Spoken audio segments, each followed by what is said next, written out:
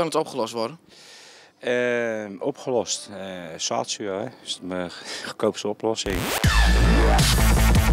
Totale chaos bij ADO Den Haag. Blijft Vang nou wel of niet? Ook Kyocera heeft nu besloten geen hoofdsponsor meer te zijn van de Hagenezen. In de beker met 5-1 verloren van Feyenoord. Een boete van 10.000 euro, een rechtszaak tegen Wang en Kyocera stopt met het hoofdsponsorschap. Het is geen pretje om supporter te zijn. Nee, het is zeker geen uh, pretje. Maar uh, supporter, uh, dat woord je niet, dat ben je. En ik ben dat in, in hart en nieren. Hoe is het als ADO-supporter? Ja, kloten. Het zijn zware tijden als ADO-supporter. Ja, kan je stellen, ja. Het is, uh, word je niet echt vrolijk van. Dus het is wel triest allemaal wat er gebeurt. Dan komen de tranen bijna op.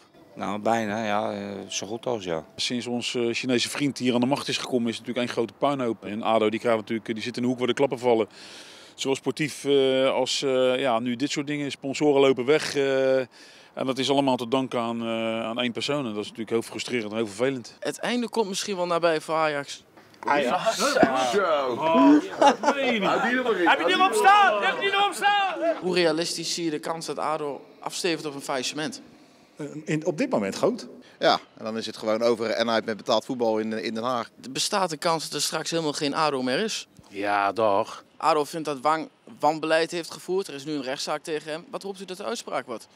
Nou, dat de heer Wang uh, zijn aandelen kwijtraakt. Ik hoop dat hij maandag zijn uit, uh, in ieder geval zijn aandelen in beslag genomen worden. En dat hij dan nooit meer, uh, nooit meer hier één voet in, in onze stad zet. Heeft John van Zweden gezegd, hij wil het met wat, wat vrienden wel overnemen als Wang vertrekt. Hoe lijkt u dat? Ja, graag.